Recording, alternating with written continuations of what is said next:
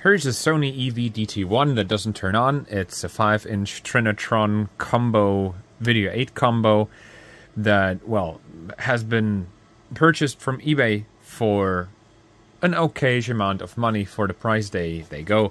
It unfortunately didn't came didn't come with uh, remote control, but that doesn't matter because it does have all the controls that you need.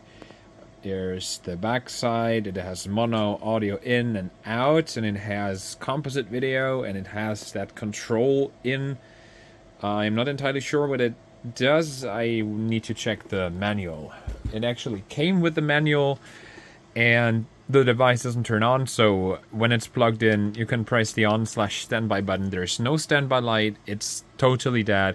The tube is supposedly fine. I'm not sure where this device came from in detail and what it was used for. I only know that it does have some scratch marks, but apparently it hasn't been smashed or anything regarding the tube is uh, has been damaged. So nothing, nothing wrong there.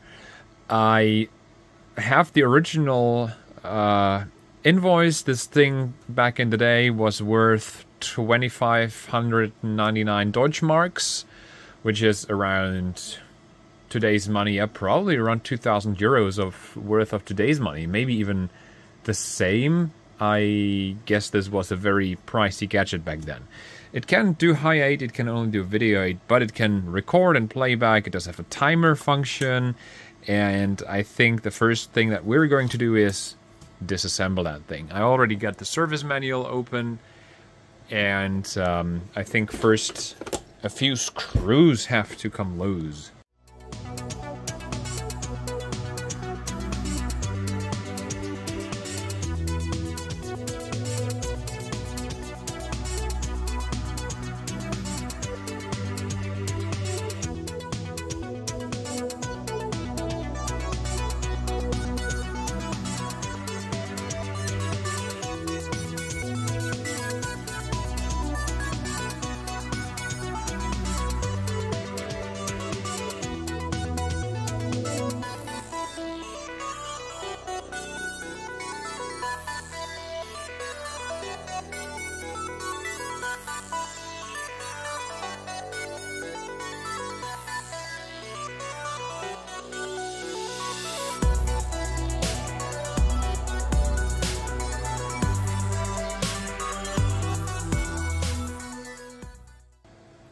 See that? And do you see this? Oh my god, that's that's actually a lot of damage.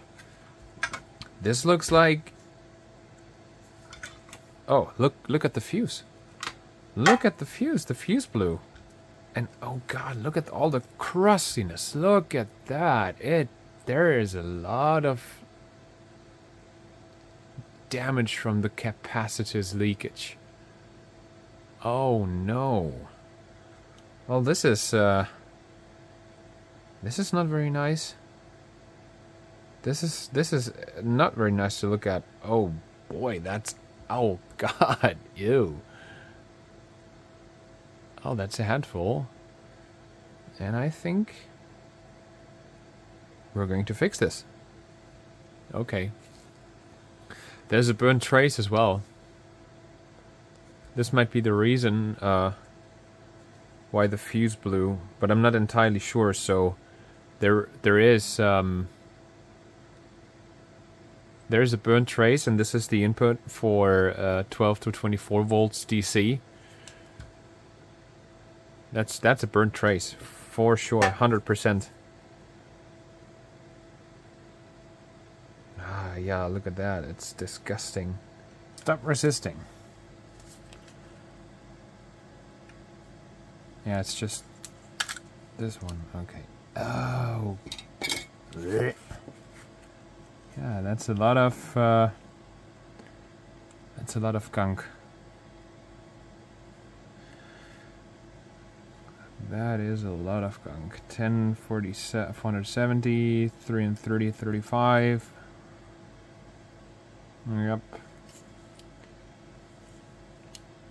Yeah, we gotta pay very good attention to the surrounding the surrounding components. because the some of them are probably eaten up completely. The diodes, for instance. Luckily, I have the manual for this one.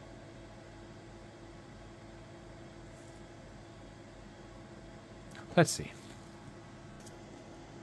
Look at this. Look at the crustiness. Mmm.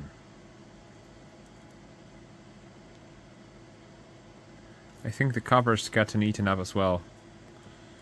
I think there's a lot of damage to the copper.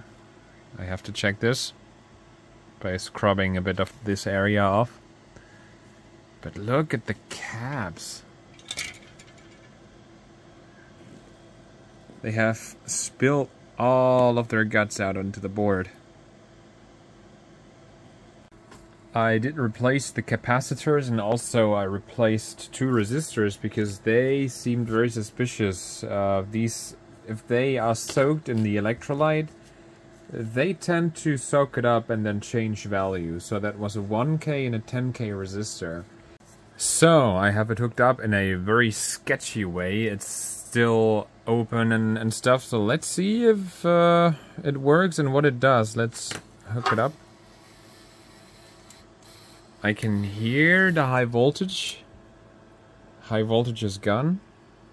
Oh, we have a standby light. Okay, so I think I also heard the mechanism do something, so... Oh, something's happening. After this section of the video, I unfortunately don't have any further footage, at least of the issue with the deflection. After I tested the device for a couple of minutes, I noticed that there was a problem on the right side of the image. The CRT was showing the picture without any issues, however, there was a black bar that was showing on the right side of the picture tube. This led me to the assumption of an issue with the deflection part of the TV section of the device and this is being troubleshooted in the next part of the video.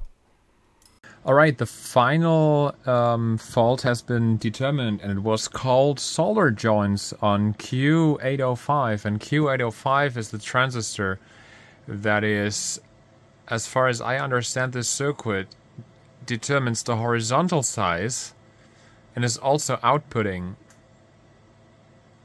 the horizontal signal towards the size control and the LC8 board.